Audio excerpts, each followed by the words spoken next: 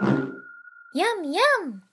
William Vaughan here with a quick look at the Tack tool in Modo. The Tack tool enables you to quickly position and orient selected geometry to any active geometry in the scene. To use the tool, select a single or multiple polygons on a mesh you'd like to affect, activate the Tack tool, and make sure that Move Connected Vertices is enabled. When this option is active, all contiguous geometry is moved and aligned to the target element. When this option is disabled, only the selected polygons are transformed. With the tool property set, simply left-click on the target mesh to move and align the geometry.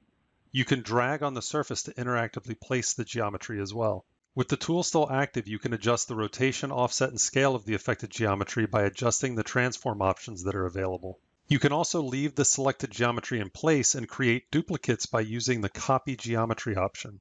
Using the middle mouse button will generate a copy of every mouse click you perform, allowing you to quickly generate copies. The Make Bridge option will bridge the two meshes together to make a single contiguous mesh from the two surfaces. Oh, look at the time.